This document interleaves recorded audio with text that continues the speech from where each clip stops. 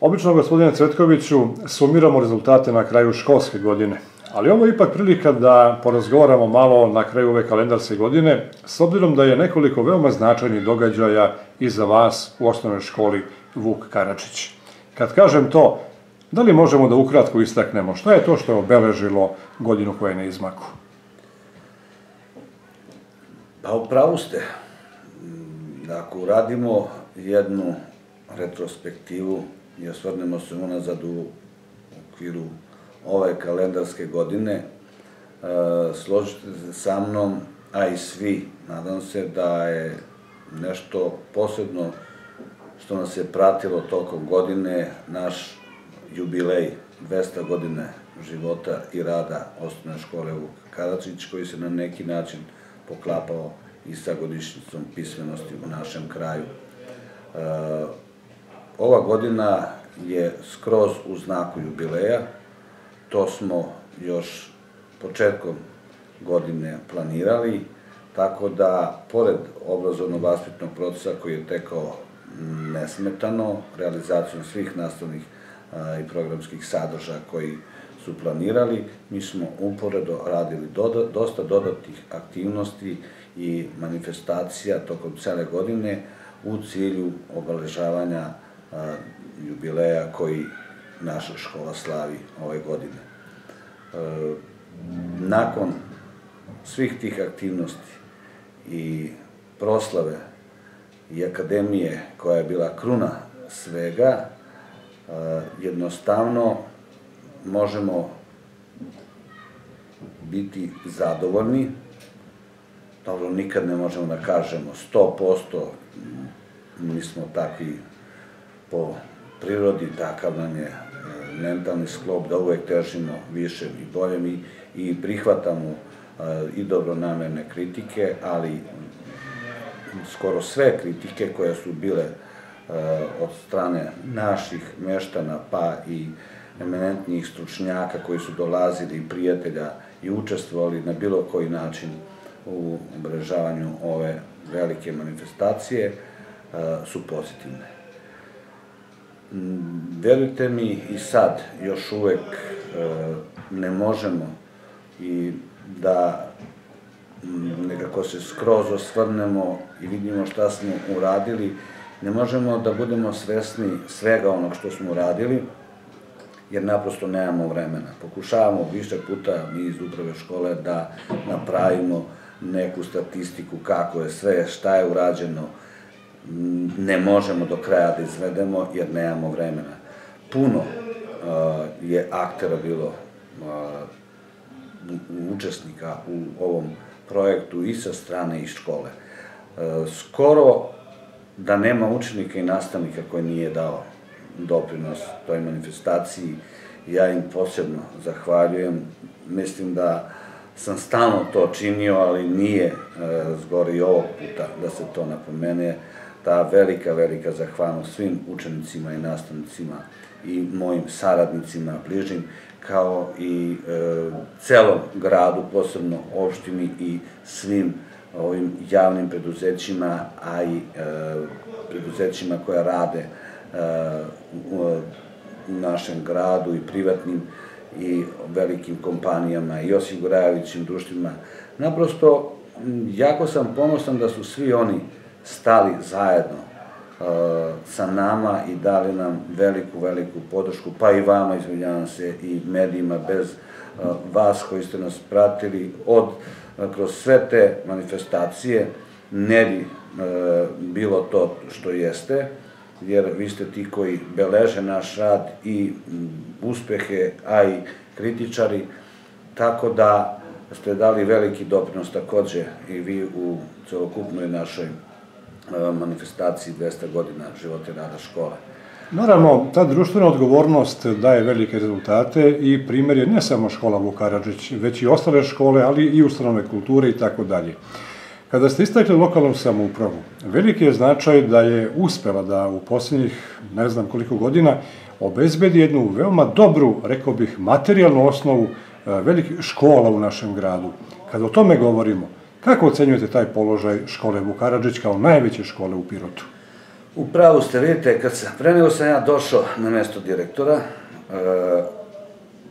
iz škole 8. septembar, već tad je lokalna samouprava počela da investira u obrazovanje. Ne samo e, u jednoj školi, u svim školama. Materijalno, materijalno-tehnički uslovi su se iz godine u godine poboljšavali.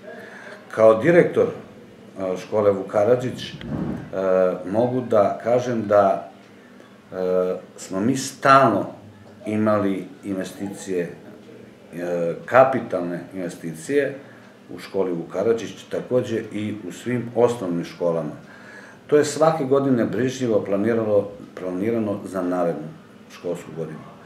Mogu da vam kažem i priče iz ostalih gradova, jer mi se stalno e, na seminarima po Srbiji susrećemo sa direktorima i menjamo e, naša iskustva. Ima veliki broj škola u Srbiji koje su e, sa nerešenim pitanjima plaćanja struje, vode, telefona, a o nameštaju i nekim dogradnjama da ne govorim. Mi možemo da budemo srećni, neki dan smo imali sastanak aktiva direktora osnovnih škola, ali to je stav i srednjih škola, srećni da nemamo nikakvih problema takve vrste. Jeste, možda treba više i uvek treba više.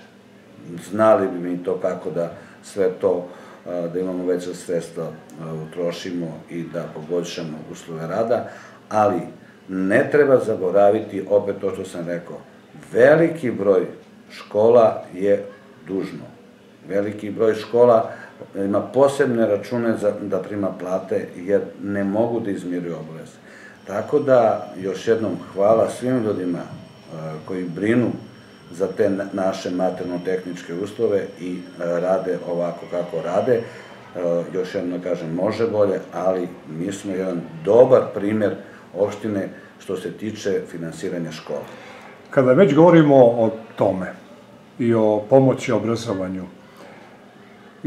istvoreno odeljenje u Gnjilanu je možda na neki način i najbolji primer, gde su meštani Gnjilana dobili, odnosno i vaša škola kao matična škola, potpuno novu školu.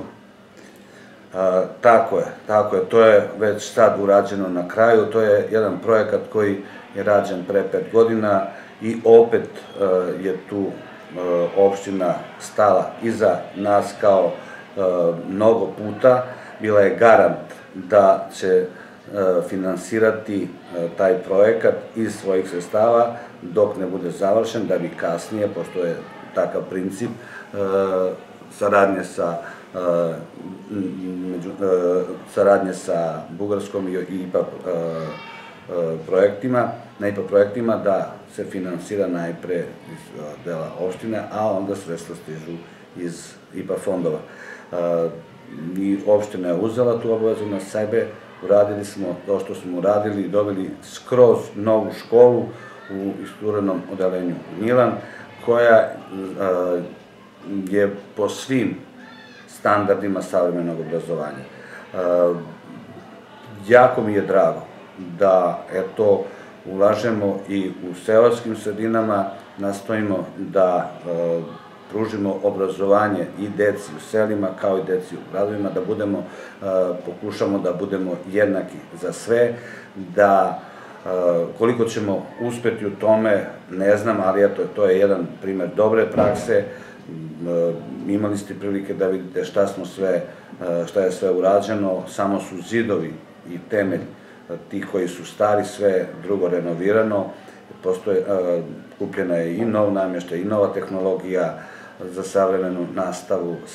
Puno toga je urađeno, projekat vredan 100.000 eura e, i eto, samo mogu da poželim e, učiteljima i učenicima da tamo provode e, najbolje vreme učeći i na taj način se oduže svima koji su tamo investirali i da zamolim i meštane sela Milan da eto, koriste i čuvaju školu kao svoju, jer to je na kraju krajeva i njihova škola. Mi smo tu samo prolaznici.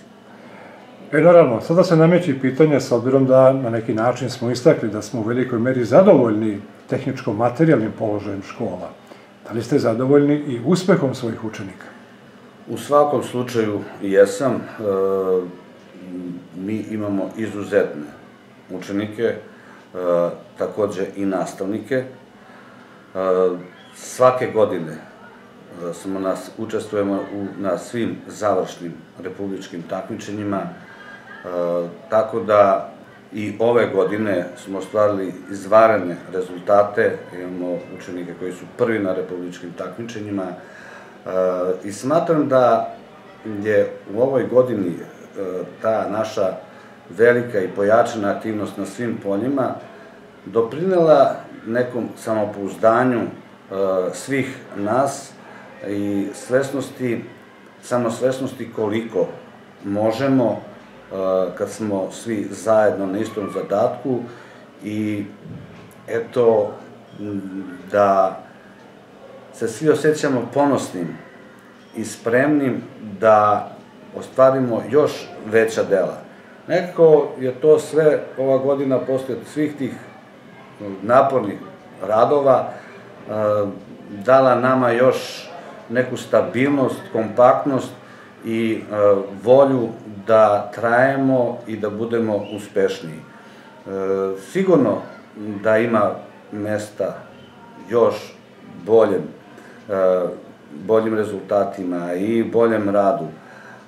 Kad bi imali još malo sredstva koja bi investirali u opremanje kabineta savremenom tehnologijom projektorima, interaktivnom tablom i kad bi tome dodali uh, investiranje u uh, edukaciju i znanje prosvetnih radnika na seminarima stručnim, ja verujem da bi mi mogli za godinu, dve, da stanemo rame u rame sa najelitnijim školama u Srbiji.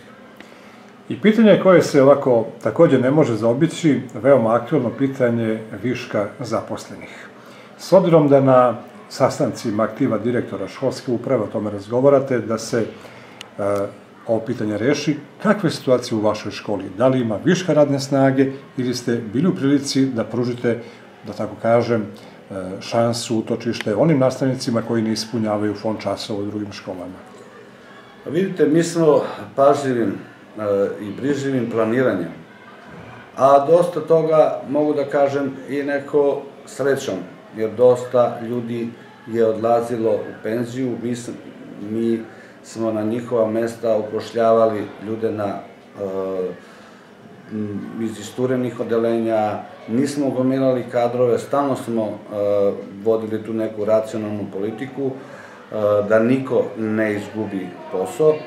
U našoj školi ove godine, kao i svih godina unazad, nismo imali tehnološki višak.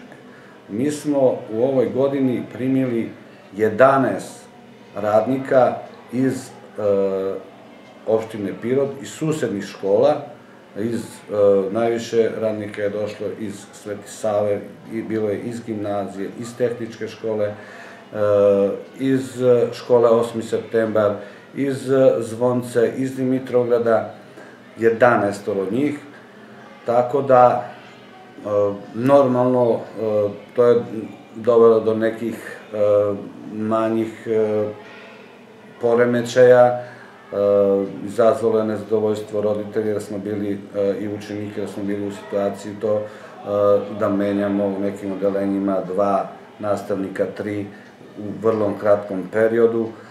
Mm, ja sam se izvinio i učenicima i roditeljima, to nije bila naša volja, to je bila naredba i mi smo zakoni, mi smo morali da postupamo po zakonu, zbrinjavajući tehnološke viškove i pokušavajući da pritom što manje remetimo nastavu. Koliko smo uspeli, vidjet ćemo. Ta, taj prvi neki rez je bio jako bolan, u sprovođenju zakona nadam se da će nadalje to sve biti manje i da ćemo jednostavno obrazovanje normalizovati.